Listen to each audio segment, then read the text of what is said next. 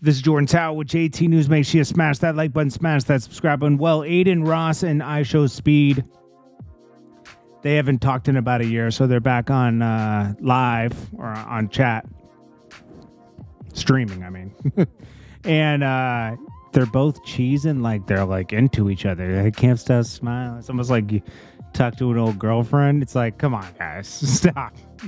You got they play way too much, bro. It's like you, they go, they cross lines. Tory Lanez dangers lurk into a prison. Multiple prisoners murdered this year. That's what TMZ is reporting. Prison's not like a sweet place. He's not going to like a blue collar prison or a federal blue collar prison. TMZ also reports Anthony Anderson will pay 20K a month in spousal support to his ex wife. Jeez. Uh, Danny Boy is uh, welcome on Death Row Records, but what is Snoop Dogg really going to put out from Danny Boy at this point? But maybe just so he has a home? It looked like Danny Boy is a chef in this video. I, th- I think he's like a.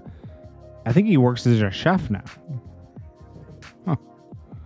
Um, let's see. Then we got Jada Pinkett, uh, understandably facing backlash, keeps posting Tupac. People were saying, "Let this man rest in peace.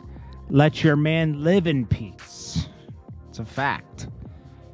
It's like, come on, you're, you're just doing too much, man. Um, yo, this is what Papoose. Uh, so Papoose and Remy Ma supposedly aren't together anymore. We've talked about this. Um, the battle kind of exposed this. Eazy the Block Captain. That's what he used to look like in the yellow right there. A doofus.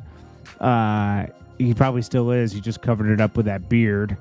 Uh, he had to get braces from. He's. I think he still has braces. Remy Ma cheated on Papoose with the Tubi version of Papoose. That's what someone posted. It's hilarious when DJ Khaled gave a girl 100,000 for saying his name. This guy, DJ Khaled, I don't care how rich he is, he's the ultimate cornball. Anybody who starts off one with "Say my name," and the girl's like DJ Khaled, and he's like, "Take your mom shopping, go buy a condo, you have more money, say my name, DJ Khaled." It's like I, I, can't get past his corny, like he like he's a, a womanizer. It's like, bro, you're just famous, bro. Jeez. Eminem says 50 Cent is one of his best friends he's ever known after surprise with Detroit gig. Then 50 Cent says, That's my guy. He put me on. We don't switch up over here.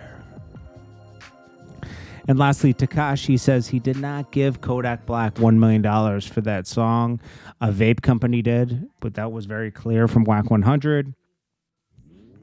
I don't know why people were saying that he paid Kodak Black directly, but it is what it is.